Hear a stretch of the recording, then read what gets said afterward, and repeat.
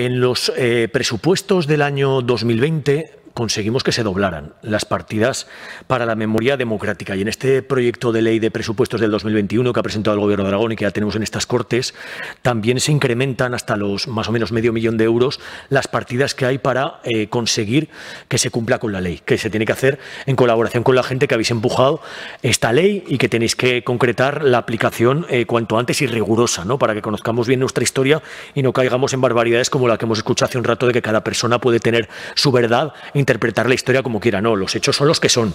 Y luego ustedes pueden interpretar la realidad como quieran, ¿no? Pero los hechos son los que son. No puede ser que el cambio de nombre de calles, que la retirada de títulos honoríficos a torturadores, a adalides de la exaltación franquista sigan estando en algunos ayuntamientos de Aragón, como pueden ser el de Zaragoza, el de Huesca o el de Calatayud, por decir tres de los más grandes. Siempre con PP y Ciudadanos gobernando, con el empuje de Vox.